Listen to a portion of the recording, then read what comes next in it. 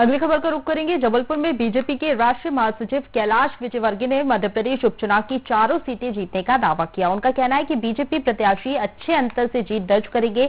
जनता कांग्रेस की नीतियों को अच्छे से समझ गई है। लोग दोबारा कांग्रेस को मौका नहीं देंगे।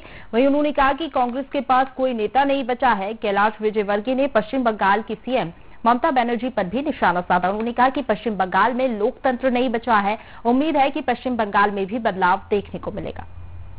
उपचुनाव निश्चित रूप से भारतीय जनता पार्टी के लिए चुनौती इसलिए है कि सरकार के खिलाफ वातावरण बनता है। पर मुझे लगता है कि हम सभी चुनाव जीतेंगे।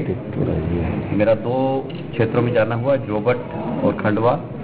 मैं दावे से कह सकता हूँ कि दोनों सीट जीत रहे हैं। और जो मेरे पास फीडबैक है पृथ्वीपुर और रेगांव का, वो भी हम जीतने वाले हैं। कांग्रेस कितना भी ज़ोर लगाए, कांग्रेस के पास नेता नहीं है नेतृत्व की कमी है, नीति और नियत, उसके ऊपर भी लोगों को शंका। देखिए, महँगाई तो एक विश्वव्यापी समस्या हो गई है।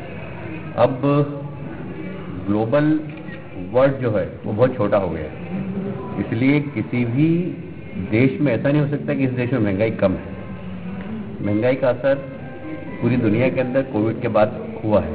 हम इनकार नहीं करते पर भारत ने अपनी अर्थव्यवस्था को जिस तरीके से कंट्रोल किया है अभी ही इंटरनेशनल मॉनिटरी फंड ने भारत की अर्थव्यवस्था की तारीफ़ की है।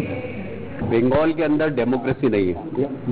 बंगाल के अंदर तानाशाही है। बंगाल के अंदर आ, मीडिया स्वतंत्र नहीं है। यदि मीडिया उनके खिलाफ छापता है तो मीडिया के ऊपर हमला हो जाता है। वहाँ पिछले तीन चार साल में बारह तेरह पत्रकारों की हत्या हुई है। अभी आफ्टर इलेक्शन जो वायलेंस हुआ लगभग पैंसठ भारतीय जनता पार्टी के कार्यकर्ताओं की हत्या हुई है।